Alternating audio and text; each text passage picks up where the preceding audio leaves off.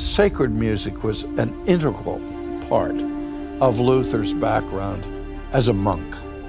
And once he came out of the monastery, he still had a profound appreciation for the importance of church music. In fact, he said, second only to the Bible, the Word of God, is the importance of music, because music has the singular ability to elevate the soul.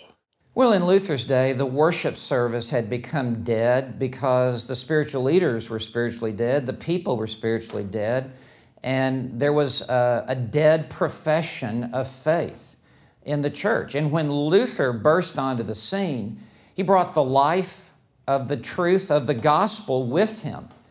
And such theology revolutionized the doxology in the church.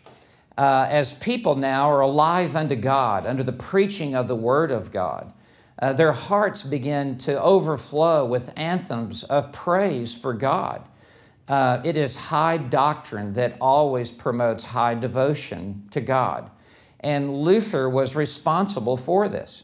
Luther himself began to write hymns, and they were expressions of his great love for Scripture and love for God.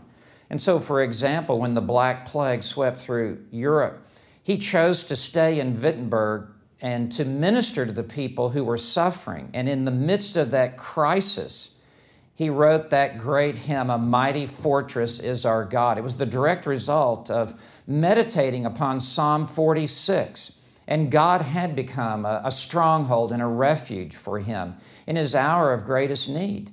When uh, things would be difficult at the uh, University of Wittenberg, Melanchthon, Luther's closest uh, lieutenant, trying to rally the uh, discouraged professors, would say, Gentlemen, let's sing the 46th, meaning a mighty fortress is our God. And that song, of course, has come down to our day.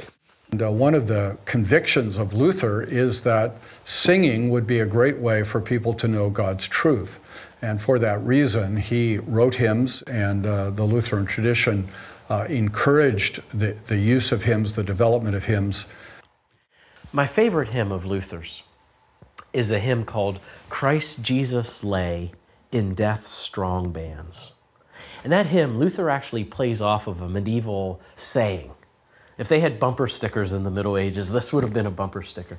And the saying was this In the midst of life, media vita, in morte sumus. In the midst of life, we are in death. Isn't that a terrible worldview? talk about the effect of the Middle Ages on the people. Doesn't that show the hopelessness that was there on the eve of the Reformation that they're saying is in the midst of life, we die? Here's what Luther does in that hymn, and it shows how clever he is. And it also shows what a great theologian he is. And that hymn, Luther turns it around. No, the truth is, in the midst of death, we live.